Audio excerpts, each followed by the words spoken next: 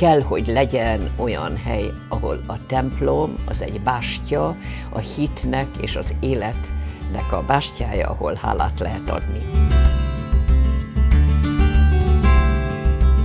Alsó része maga az épület tömb, ami tényleg olyan tömör és olyan nagyon földhöz simuló, az az alázatot képviseli a számomra. És az a karcsú, nagyon szép torony. Én nagyon harmonikusnak találom ezt a tervet és ezt az épületet, hiszen ahogy magasodik olyan, mint hogyha szinte föl emelnénk kezünket, és úgy kérnénk az áldást az életünkre, vagy mintha hálaadásnak lenne egy ilyen szimbóluma,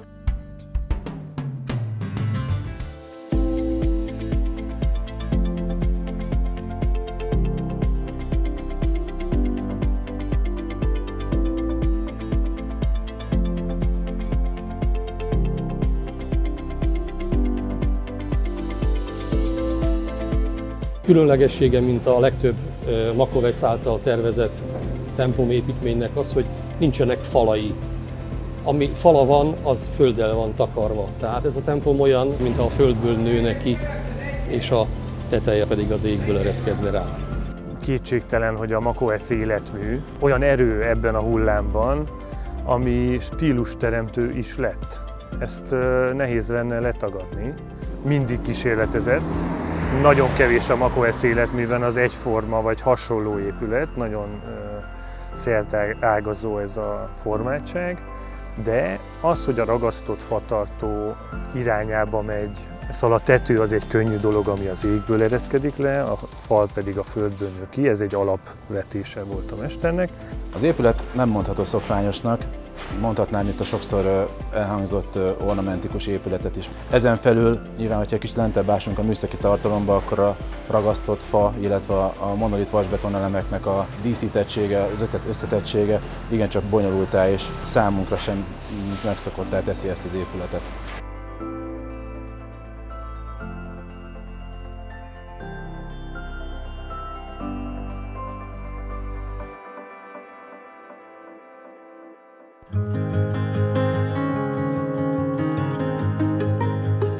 A szabadtelepi gyülekezetnek körülbelül 80 éves története van. 1941-ben lett anyaegyház, a Mártirok úti imaházban tartjuk az istentiszteleteinket, barátságos, családias közösség a miénk, a igehallgatók nagy többsége ismeri egymást. Ez az épület több mint száz éves, és úgy tűnik, hogy vagy egy nagyon ö, nagy felújításra szorult volna, átalakításra, vagy pedig ö, lebontásra ö, ítéltetett volna. Ez a templom ennek a közösségi létnek a központja. És hogy honnan jött a templomépítésnek a gondolata, onnan, hogy a pesterzsébeti reformátusok azok egyre erősödtek, és ezért szükségessé vált, hogy egy templomot építsünk.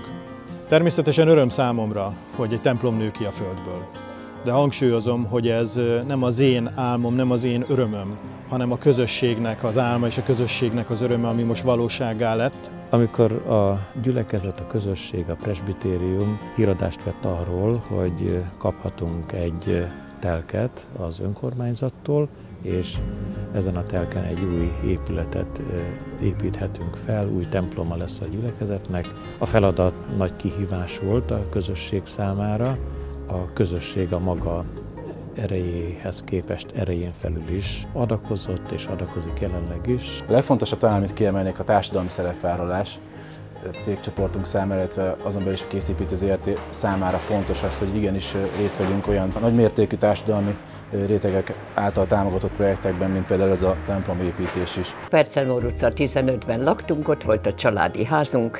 Én hát ott nőttem föl, a fontos gyerekkori éveim Pesterzsébethez kötnek, de sokkal fontosabb az, hogy láttam, hogy édesapám milyen odaadással volt lelkipásztor, ahol csak megfordult és szolgáltott, biztos, hogy valamit helyrehozott, renovált vagy épített valamit és ezért valahogy olyan bennem volt mélyen, hogy mi ilyenek vagyunk, a mi családunk ilyen elkötelezett, ilyen építkező, ilyen segítő.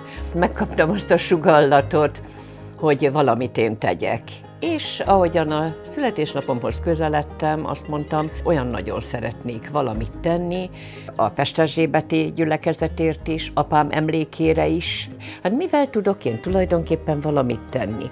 Hát úgy, hogy gyűjtök egy kis pénzt, hogy egy gyűjtést indítok, ahol is én egy évi jövedelmemet odaadom, és hozzá minden előadásomnak az elkövetkezőkben a bevételét odaadom. Most, amivel legnagyobb gond és küzdünk, ez a forráshiány.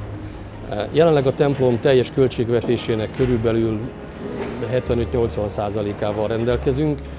A gyülekezet nagyon szerette volna ezt, szeretné ezt a templomot, és én is úgy érzem, hogy ez egy különleges pont minden építőiparban dolgozó mérnök számára. Ez nem egy hagyományos épület, ez nem egy szokásos épület, ez tele van kihívással.